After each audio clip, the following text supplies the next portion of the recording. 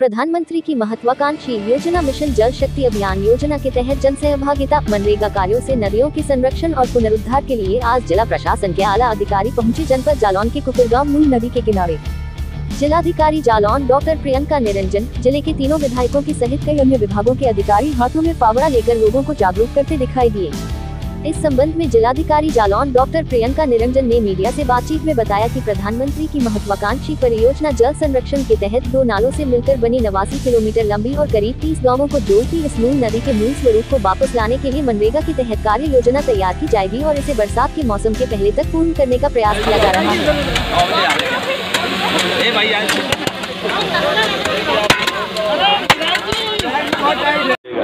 देश के प्रधानमंत्री ने कहा कि वर्षा का एक भी बूंद वर्षा का एक भी बूंद बर्बाद न हो,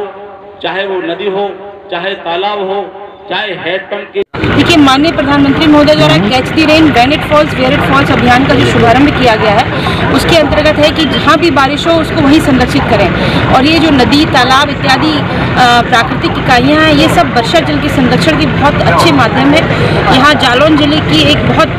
पुरानी नून नदी थी, जो कि दो स्थानीय नालों को मिलकर बनती थी और स्थानीय क्षेत्र को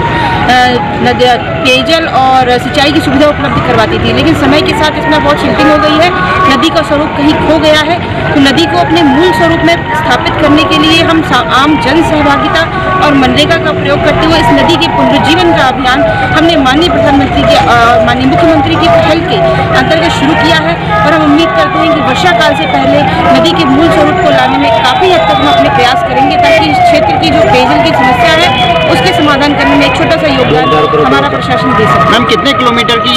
ये नदी है और इसमें गाँव कितने मतलब इसमें ये अभी जो हमने प्राइमरी सर्वे करवाया है उसके अनुसार लगभग नवासी किलोमीटर की नदी है जो तीस गाँव से होकर और तीनों विधानसभाओं से होकर जाती है। तो इसको मूल स्वरूप में स्थापित करने के लिए अ, मनरेगा और आज जन सहभागिता का प्रयोग किया जा रहा है। ठीक है धन्यवाद। बहुत बहुत धन्यवाद। थैंक यू मैम जनपद जालौन की लोकल खबरें देखने के लिए जालौन लाइव टीवी चैनल को सब्सक्राइब, लाइक, शेयर ज़रूर करें और बेल आइकन भी दबाएँ। है भूख और भ्रष्टाचार के खिलाफ अगर आप वाकई कुछ करना चाहते हैं तो अपनी इच्छा को दीजिए अपनी आवाज़, कीजिए मतदान,